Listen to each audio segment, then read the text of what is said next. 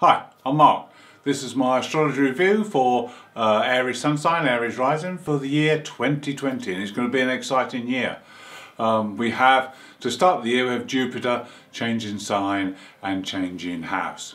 Now, for you Aries, um, Jupiter is going into Pisces, so this is your 12th house. This is a time uh, that you need to reflect, time that you need to just um, calm down a bit, think about things. Because in five months' time, uh, Jupiter is going to enter your sign um, and your first house, and then it's going to go bang. Things are going to happen so quickly. It's going to be great growth and expansion in your life. So for now, for the first five months, you need to just take stock of things. The 12th house is about getting in touch with um, your inner self. It's also a good time to uh, develop the spiritual side and look at the spiritual dimensions of things. Now maybe um, they need to do some behind the scenes work. The 12th house is about, is about hidden things. So you could be working on something, a project that will come to fruition when um, Jupiter goes into your first house and, and your sign of Aries. Now, another aspect with this is you'll be more compassionate, so you may be more um, willing to help others and also to receive help from others as well. So this can benefit you greatly. But then on the 11th of May, uh, when Jupiter moves into your sign, and it's not forever, it's uh, only for a little while because Jupiter will go retrograde and go back into Pisces for a while. But um, you'll get a taster of what it's going to be like because next year Jupiter will be uh, fully in your sign for a good five months again. So, um, make use of this taster, see what starts to happen, uh, there'll be new things, uh, your life will start to grow and expand and you'll be willing to uh, take on more things, you'll be willing to, to look at things that you probably wouldn't have dared done in the, in the past because Jupiter will give you more confidence, the confidence to try things and to grow. Um, the only thing to be wary of is don't overdo it because Jupiter, Jupiter can inflate everything and you may get overconfident or you may um, think you can do more than you can so it's best to uh, just keep a check on things. On the 14th of uh, January, Mercury uh, makes the first of its three retrogrades this year. Um, and it'll be going back through your 11th house into the 10th briefly um, and Capricorn. Now, what will happen is that things, communication will become quite difficult, especially amongst friends and within group situations. Um, things may get misinterpreted, uh, misunderstood. So just be very clear um, in what you say um, and make sure that everybody, uh, if it's in within a group situation, everybody is singing from the same sheet and there's no uh, misconceptions. Now, on the uh, following day, uh, Uranus, who's been retrograde for some time, stations direct and will slowly move forward now until uh, the end of August. Now, this will bring more urgency as, as Uranus gathers momentum again and moves out of the shadow period. Um, there will be a slow awakening. There will be an urgency comes in to make changes. It may have been that you feel like you've been going over old ground recently with Uranus retrograde. But now going forward, it's time to really get to grips and make the change, necessary changes um, in your life. On the 19th of January, the Moon's nodes change sign and house. Now, the uh, North Node moves into Taurus, and this would be your second house. So there's a great concern now with resources, having been the second house. Also about your security as well and your values. What do you value? And in uh, Taurus, it's about nature. It's about caring for the planet. Um, and the area where the North Node is an area of great growth, so it's a good time over the next uh, year, year and a half to uh, achieve some growth in that area. Now, the South Node in uh, Scorpio um, is in the 8th house, so this will bring into focus shared resources and also uh, make you more acutely aware of, of others and, and within group activities as well. It'll make you more, uh, your perception will increase um, when dealing with other people. On the 4th of February, uh, it's a rare occasion, we have all the planets going direct. And this will last for uh, three months or till the 29th of, of April. So make good use of this, harness the energies, and uh, it's a good time to achieve unhindered. Then on the 1st of March we have a triple conjunction. this triple conjunction is between uh, Venus, Mars and Pluto. Now, this is very intense energy. Um, we have intense desire with uh, Venus and Pluto and we have intense ambition with uh, Mars and Pluto. Um, and this can be put to good use for this creativity as well between uh, Venus and Mars. So if you can bring in creative change now uh, with passion and desire, this will be fantastic. This is all happening in your 10th house, the area of career, the area of your destiny and also your public standing. So you can make great inroads now. You just need to be careful to channel the energy in the right direction because if this um, energy is left untapped uh, and left to run wild, it can cause havoc. On the 5th of April uh, we have uh, quite a difficult conjunction to deal with because Mars catches up to Saturn and conjuncts him. Um, now Mars energy is held back by Saturn it's it's going to be difficult um, and it's not a time to push forward with new ideas and new things. And it's going to affect your future because this is in your 11th house. And the 11th house is about our future and our future planning. So it's probably a time to step back a bit and just to use your uh, tried and tested methods to follow the beaten track rather than forging ahead onto a new path at this moment in time. Stick to the familiar, there will be limitations and restrictions, work through this um, until Mars breaks free, then you can start planning for the future, then you can start organising um, and putting energy into where you want to be. Also with the 11th house is to do with friends as well, friends and colleagues, group activities. So there could be difficulties here as well. You might find that there are obstacles that come in the way. Um, but don't treat them as a brick wall, um, treat them as something that you can um, circumnavigate. You can go round, underneath or over. Um, find a way uh, to keep the, the energy running smoothly. On the 12th of April, exciting uh, conjunction between Jupiter and Neptune. This is the biggest event of the year. Um, this is coming together of the two, two of the great gods um, and they are both rulers of Pisces and it's happening in Pisces. Um, these two last came together in Pisces in 1856 and this saw the birth of uh, Sigmund Freud. Uh, he transformed the world with his views on uh, psychoanalytics. Um, and again, something like this will um, come along that will that will engage us uh, for the future. Now this is happening in your 12th house, so this is the house of Pisces.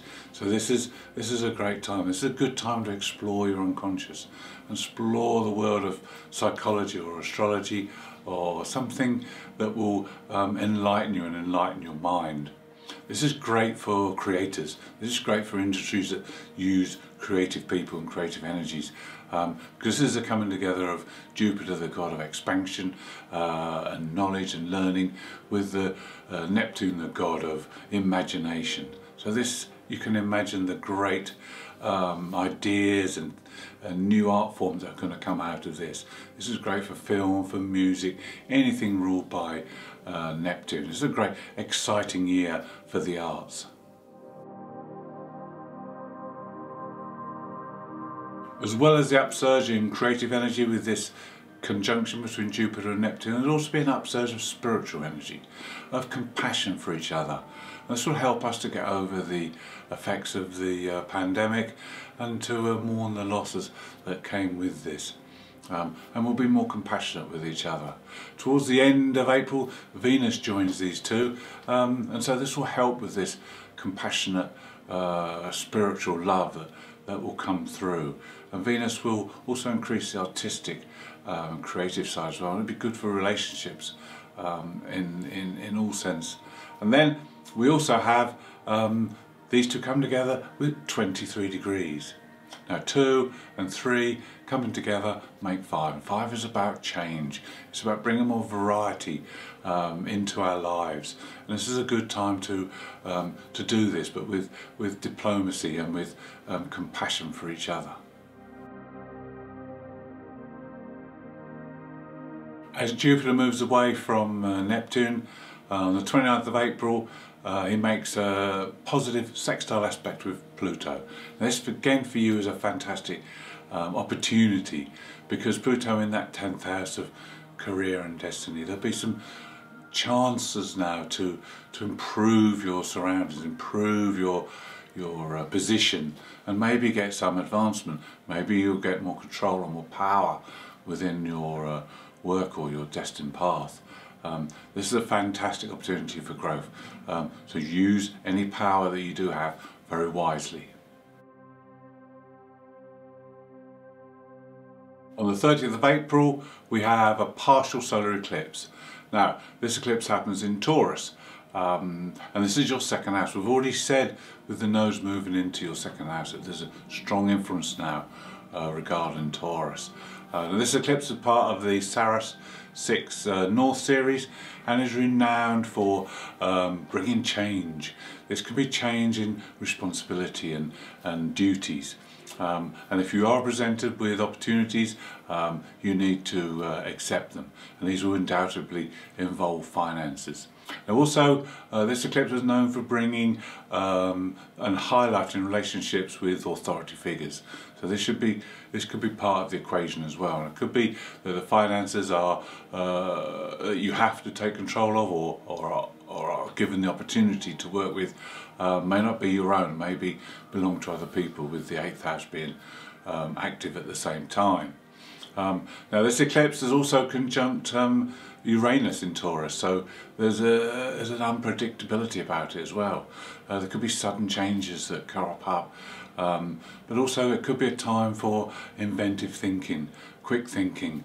Um, it could be a time when you can gain benefit for yourself through through your your quick thinking and your and your fast reactions to, to situations. And you may be able to take control, take uh, a step up because of someone else's either illness or, or inability to proceed with the, uh, uh, the commitment.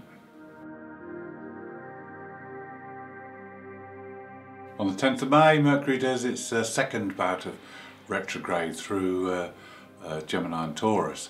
And on the 16th of May we have our second eclipse. This one is a total lunar eclipse and it's in Scorpio. Again it's a fixed sign so if you have any planets in fixed signs for these eclipses then you will uh, certainly be more acutely affected. Uh, but this eclipse belongs to the same series as the one in April, um, so the same theme is, is present. But this time with Scorpio, there's going to be more um, in depth. Uh, this is a time when you can dig below the surface and look into things more carefully. Um, it's also a good time to use your uh, perception because your perception will be increased greatly under this, uh, this eclipse. Then uh, we also have the added effect of, of, of with that Mercury retrograde. So communication will be quite difficult. Although you may be able to find things out it may not be a good time to bring them up. Save the information. Keep it at the back of your mind uh, for when the time is right because Mercury goes direct again on the 3rd of June. It'll be a, a more uh, beneficial time to uh, communicate your findings. On the 31st of July we have another very important event um, that will uh, uh, enforce the fact that uh, the second house plays the most important part in your life uh, during this year. Um, we have Uranus is in the second uh, coming together in a conjunction with the moon's north node. Now this is very important because this can shape your future. This can bring about events that will change uh, the way you see things. Uh, you'll have new ideas, um, new thoughts coming through your head that uh, will certainly shape uh, a better future for you. And this is all featuring around finances. Um, so there could be um, tremendous change going on here. It's also about your values. Your values, you'll have to overhaul them because there'll be things coming through now um, that will make you question what you really do value and you may have to make some drastic changes going forward. Um, this is very exciting. Um, Uranus um, going direct will be uh, full of new ideas, full of uh, ingenuity, um, unique and genuine. This is a time to really be yourself and to not follow the crowd but to uh, manifest your own uh, dreams and, and go the way you want to go. On the 9th of September we have our third uh, Mercury retrograde period um, this lasts to the 2nd of October. This is going back through Libra and Virgo. This is concerning your seventh house. This is the house of relationships. So it might be a difficult time uh, communicating within relationships. Um, and it may not be a time to bring things up and discuss things. Maybe wait until October when uh, Mercury's direct again. And it will fall back into your sixth house as well. So this can also affect your daily routines and uh, daily work. On the 25th of October we have another eclipse. This time it's a partial solar eclipse in Scorpio. This series of eclipses is the sixth south and this is a very different feel to it. This one brings intense uh, power and control. Uh, and this can come up within relationships. This could be a good thing. If you can take control, take power uh, from within a relationship and that's mutually acceptable then this can be fantastic. Um, but it can be difficult if the other person isn't willing to uh, uh, to give you that power. And this is all relationships, not just uh, personal ones. It could be business partnerships. It could be any kind. It could be group relationships, um, and this could concern group activities as well. Now, the intensity of Scorpio, because this is at two degrees, um, is very very strong. Um, again, this is your eighth house, so it could be uh, involving uh, resources um, connected to other people outside your normal remit. Um, but again, it will also increase uh, your perception. So the second and eighth houses are very much um, a theme for this year for you to work with. The final major event of uh, 2022 is quite a big one. It's a, a total lunar eclipse and it happens on the 8th of November um, but there are added complications with this one. The moon is applying to Uranus um, so this is going to make it a very unusual, uh, very electric, electrifying um, eclipse and uh, with Uranus there anything could happen. Sudden changes, sudden events could fly up. Um, and then with the moon opposing the sun, the sun uh, is applying to uh, Mercury. So that brings Mercury into the equation as well. So communication is going to be vital for this eclipse. But also, and this is the interesting fact, both ends of the uh, opposition between the sun and the moon are square to uh, Saturn. Now Saturn's in that 11th house for you. So this brings in uh, the 2nd, the 8th and 11th all together. So um, the fact that uh, Saturn is there brings responsibility, brings limitation into this equation. So this is going to be a very, very uh, interesting one. You need to focus on the empty um, part of the square and that will be your fifth house which is the creative side of things. Um, this is where you will gain um, the most insight and will gain some balance because the T-square that is formed by Saturn is a very challenging um, and demanding aspect. So if you can focus energy on the empty um, quadrant, which will be the fifth house, then that will be fantastic because that will help to balance things up and you'll make the most from this, uh, this energized uh, uh, T-square. Now also um, we have the nodes. The nodes are um, conjuncting um, this as well because we have the north node um, conjunct Uranus as you recalled a minute ago and we also have the south node conjunct the Sun and Venus is in there as well on that side so there's a lot of planets involved with this eclipse. Now the eclipse is of the same series as the one in uh, October so the same theme runs out and it's across the same houses but you've just got this added influence from Saturn. Now, Saturn is the teacher, so this is a good time to take a mentor or a teacher and take on board what they say because they will help you through this um, eclipse. Whatever they say, whatever advice you get, you need to heed it because it can be invaluable uh, going forward. Thank you for watching. I hope you've enjoyed the uh, video. Uh, if you'd like to see more, please subscribe. And if you'd like to leave a message, I'd love to hear from you.